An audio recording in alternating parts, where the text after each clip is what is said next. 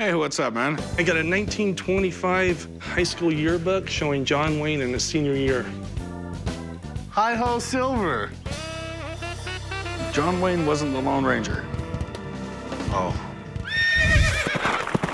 I came down to the pawn shop to sell my 1925 high school yearbook of John Wayne. I like westerns, but John Wayne never really appealed to me, so I really like some extra cash to go on a vacation. I'm asking $1,500 for the yearbook. I purchased this for only $1, so I'm hoping to make a big profit. So where'd you get this, man? I actually came across this at an estate sale. Here's a picture of him in his class photo.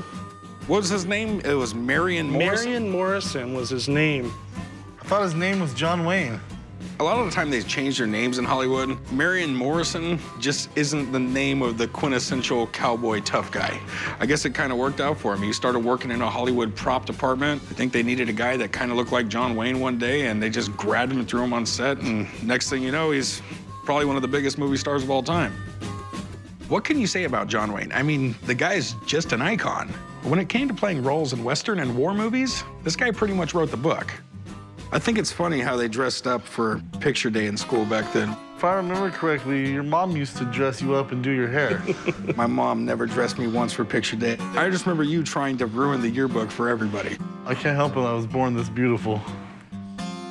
Looks like he probably played something on defense. I know he was football. He went to uh, USC on a scholarship, actually going to be a lawyer. I know he was class president. He was big into the arts, dance, speaker, chairman, really involved in his senior year. Man, this guy's all over the yearbook. I have no doubt that this is an authentic John Wayne yearbook, but without a signature, the value really drops. So what do you want to do with this, man? I'm asking uh, 1500 And I'm going to offer you half of that. Pretty recently, I got a Reagan yearbook in here, and it was a hard sell. How about nine? I'll go up to eight. 850 800 bucks, man. I promise you I can live without the yearbook.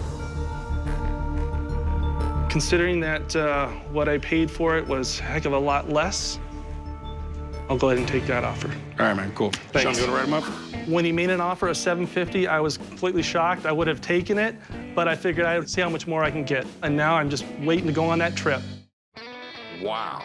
This thing is nice. This is a casting out. This is like one of the holy grails of American coins. I'll do 95 and that's it. No, I don't think so. I think I'm going to take it home.